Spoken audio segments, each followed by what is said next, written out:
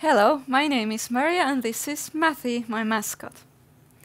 In this lesson we're gonna study pictographs. Pictographs are graphs like this, where there are little pictures and each picture means a certain amount of things. For example, in this pictograph, each blueberry means one little bucket. This pictograph tells us how many bucketfuls of blueberries these children picked. For example, Matthew picked three bucketfuls. And then Emma picked one, two, three, four, five, six, seven bucketfuls. And Matt picked nine bucketfuls of blueberries. Here are some questions for us to solve. How many more buckets of blueberries did Matt pick than Emma? How many more?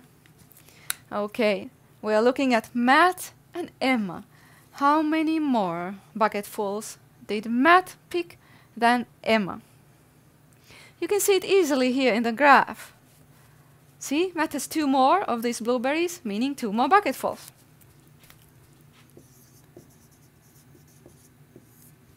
How about how many more did Matt pick than Matthew? Matt and Matthew. Can you see that? Can you count them? How many more did Matt pick than Matthew?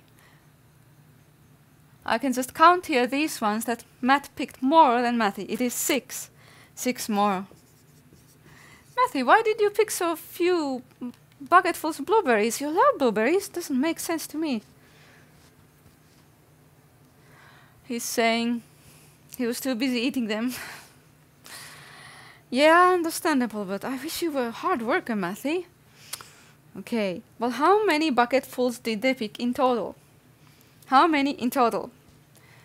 You know, I could take the 3 and the 7 and the 9 and add 3 and 7 and 9.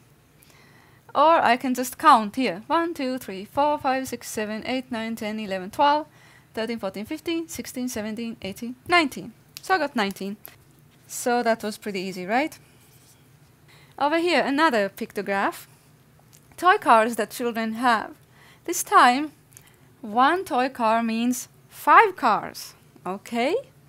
Matthew has three cars, uh, three pictures here. But this is a pictograph. Each picture means however many the pictograph says. This time each picture means five cars, so how many cars does Matthew actually have? You have to count by fives. 5 and 5 more and 5 more. So it becomes 5 and 10 and 15. Let me write it here. 15. Now let's check Matt. There's 5 and 10, then 15 and 20 and 25. And lastly, Emma has 5 and 5. That's 10. Okay.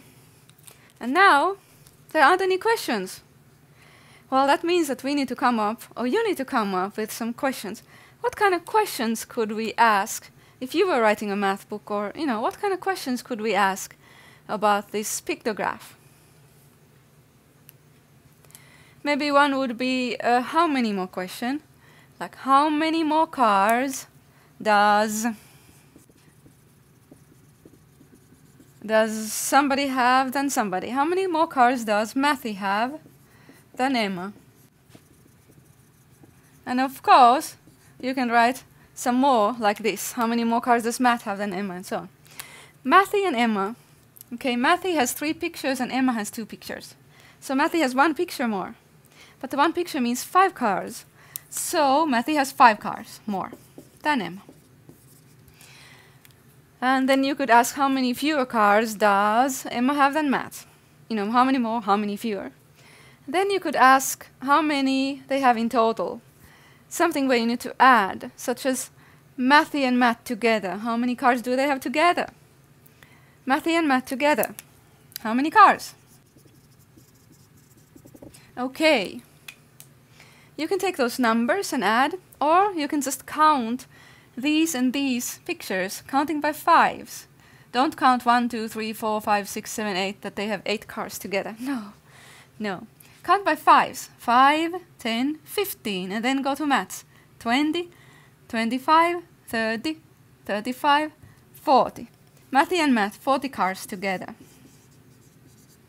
we could ask how many all three children have together. And so on.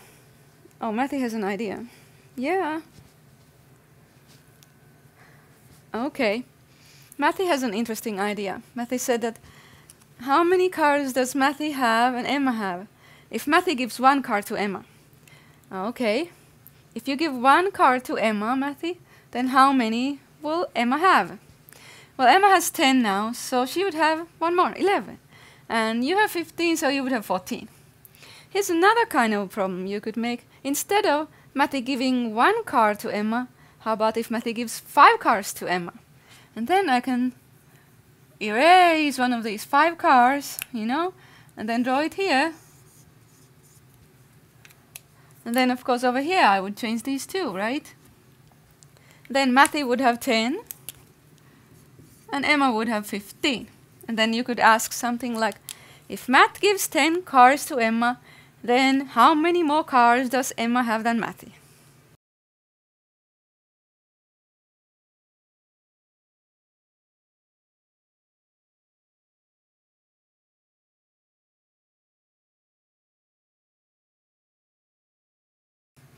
Let's just lastly count how many cars these children have in total.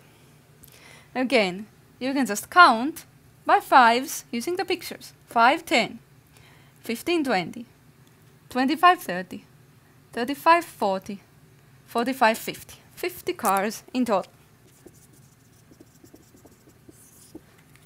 Okay, we're all done with this lesson.